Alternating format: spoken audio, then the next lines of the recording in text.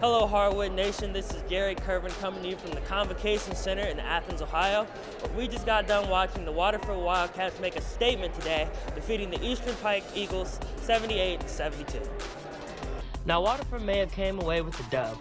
The Eastern Pike certainly didn't let it go without a fight. These two went back and forth in a hard-fought stylistic matchup that deserved to be for the D4 District Championship. At the gate, it was evident that this was a chess match between two of the best in Southern Ohio. Waterford's ability to drive and dish served them well against Eastern's 2-3 zone, but the Eagles responded with patient ball movement to methodically break down the Wildcat defense. At the end of the first, they were knotted at 16. In the second, it was clear Waterford's depth, which had served them well all season, would be needed to clinch the hardware. Travis Potmeyer and Tyler McCutcheon, who finished with 13 and 17 respectively, went up against the Lice brothers, Evan and Ethan, who proved that buckets run in the family carving up the Cats for 41 points combined.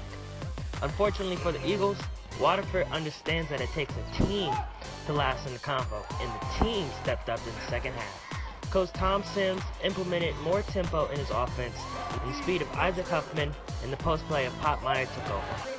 The sound of the net was on replay again and again. Waterford would put the Eagles in foul trouble in the fourth and went 26 for 30 at the line, finally icing the game with a Jordan Welsh free throw. A win like this shows the state that the Wildcats love the convo and they don't plan on vacating anytime soon. And they will play Grove City Christian Tuesday night at 6.15 in the Sweet 16 while Eastern season ends at 20 and 6. Now, if you want to follow Waterford's journey through the playoffs, you can go on woub.org slash heroes. And remember to like us on Facebook, follow us on Twitter, and add us on Snapchat. This is Jerry Kirven reminding you all, stay heroic.